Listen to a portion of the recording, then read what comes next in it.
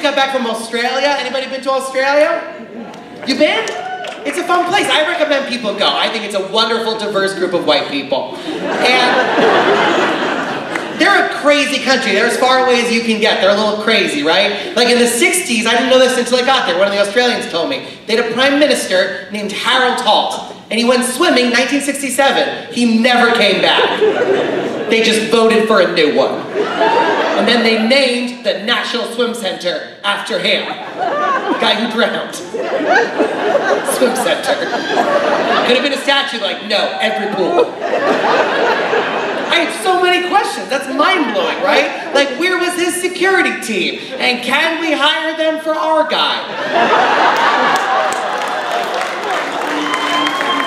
I think that would be amazing. Where'd he go? I don't know. He was tweeting on a golf course, and then we never heard from him again.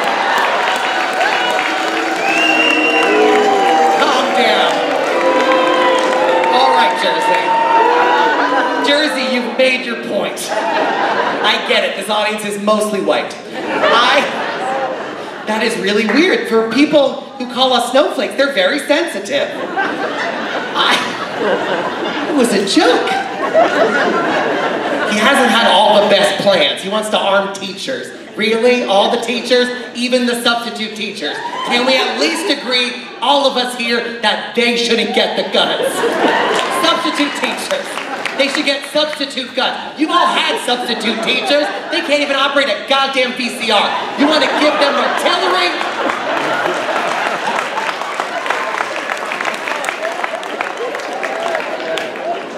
It's a crazy thing.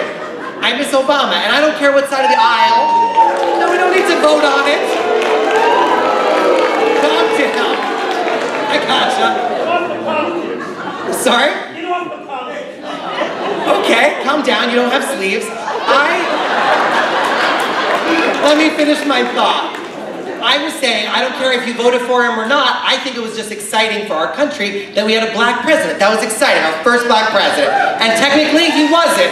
He was our first half black president, but we had him for two terms. So technically, we had a full black president. It's a math joke. It's a math joke. And he was interesting, right? He met, he was recently meeting up with the NAACP, the National Association for the Advancement of Colored People. Well, let's admit, not that advance still use the term colored people. But they can't change it, right? They can't update it to African American because then their group name would just be nah. You call Al Sharpton like, hey, any groups help us organize a march? She's like, nah. Nah, son. Not a political joke, a wordplay joke. you pounced too soon. I don't know, I'm just 31. Things have changed a lot in my lifetime. They have. 31, right? Like I was, anybody here in their 20s? You're in your 20s? How old are you? You wish you were fair, I think we all do. The 20s, I could tell there's like still hope in this row, but I, it's a difference, right? Like I'm in my 30s. I was the last generation, we were the last generation in human history to experience the rectal thermometer. right? You don't know what I'm talking about. You know what I'm talking about.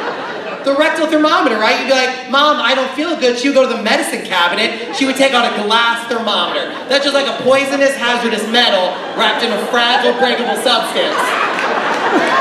And then your mom, who has no medical training, would shove that in your asshole. Your tight, innocent, childhood asshole. And she would leave it there for three minutes. That's a very long time. She had to count that down one Mississippi at a time, right? She'd be like, one Mississippi, two Mississippi. You'd look up, make eye contact with your dad. He'd be like, nope. And then he would leave. He would leave for years. Not all of them came back. After three minutes, your mom would rip that thing out. He's like, mm, you're fine. No, no, I'm not fine. I'm shivering, I'm crying. I want a foil blanket. I'd like to talk to a counselor. Not fine. Might not be sick, but I'm definitely a victim. 50 years of that. 50 years of people using the rectal thermometer. And then right before you were born, some scientist was like, hey, you know you could use the ear too, right?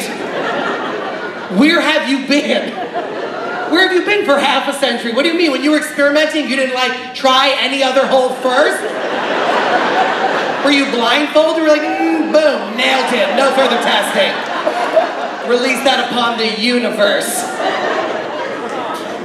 Technology has changed. Like I remember my first phone. Remember your first phone, that Nokia phone? That thing was a tank, right?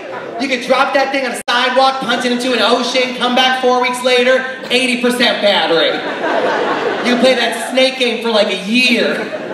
Now you gotta put a case on it. That's crazy, right? A company can charge you $1,000 for a product that is so fragile, you have to immediately run out by another product to protect the product you just bought. No other company does that, right? You never bought a jacket. You're like, is this jacket good in the rain? They're like, yeah, you put another plastic jacket, you need a jacket case. Technology has changed. I have one of those Amazon Echoes. Have you seen those things? It's like a speaker. You, I walk into my room, I'm like, Alexa, turn on the lights in the living room. Boom, lights go on. Four days of that, I realized you won't be faster. Click. so much faster. I'm yelling at this thing all day. I live alone, but I'm pretty sure my neighbors think I'm an abusive boyfriend. That's all they hear. Alexa, turn on the lights. The lights! Turn on the lights! Playing Billy Joel. I will end you. I will throw you in the garbage where you belong. Technology has changed. My mom is on Facebook. My mom. And she's uploading all the old family pictures. And she's doing it by taking iPhone pictures of the photos while they're still framed on the wall. And she doesn't turn the flash off, so every picture has that like reflection of her taking the picture of it. I had to call her. I was like, Mom, you need to put a shirt on. Like it is. It's horrifying. Why is Dad not wearing pants on the couch? It's leather. It's gonna stick. It's insane. Technology is changing, right? It's changing so fast. He still looks angry. We're doing technology jokes, sir. We're not partisan. it's fine. It's fine. Know, I travel a lot for my job. I do. I travel a lot. I go all over the world. I get to experience all sorts of kinds of people. It's exciting. Like, I, I don't know about you guys. Do you guys like the pat down? The airline pat down? I don't. It's a little infringy, right? So I figured out a way to make them feel as uncomfortable as I feel. This is the key. You just vocalize a little bit. They hate that. They get down there to give you the pat down, just be like, yeah. They do not like that. They get down there just like, mmm. You keep this up, there's gonna be an explosion.